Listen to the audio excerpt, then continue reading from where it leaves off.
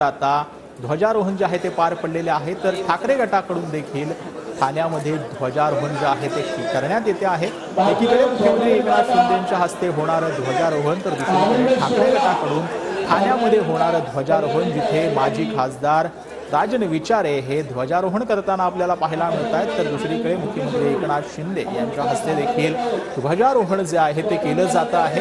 ठाण्यामध्ये मुख्यमंत्री एकनाथ शिंदेच्या हस्ते ध्वजारोहण पार पडलंय. तर दुसरीकडून आता ठाकरे गटाकडून देखील ध्वजारोहण करण्यात येणार आहे. ठाण्यामध्ये दोन्ही शिवसेना गटाकडून जे आहे ते आता स्वातंत्र्य दिनाचा कार्यक्रम राबवला जातोय.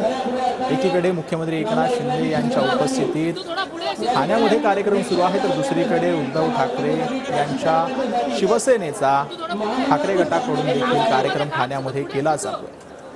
चिराई हो भारत असं असे असलेले फुगे जे आहेत ते आता आकाशामध्ये ठाकरे गटाकडून सोडण्यात आलेले आहेत.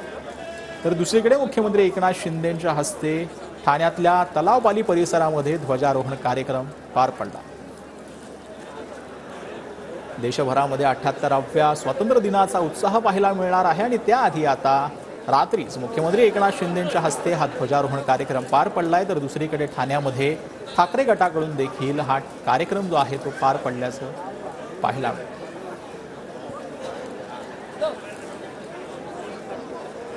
दोन दृश्य आपण पाहतो आहोत मुख्यमंत्री एकनाथ शिंदेंच्या हस्ते ध्वजारोहण कार्यक्रम हा ठाण्यामध्ये पार पडला तर दुसरीकडे ठाकरे गटाकडून देखील ठाण्यामध्ये हा कार्यक्रम जो आहे तो घेण्यात आलेला आहे. स्वतंत्र दिनाच्या आधी जो आहे तो कार्यक्रम आता सुरू करण्यात आलेला आहे.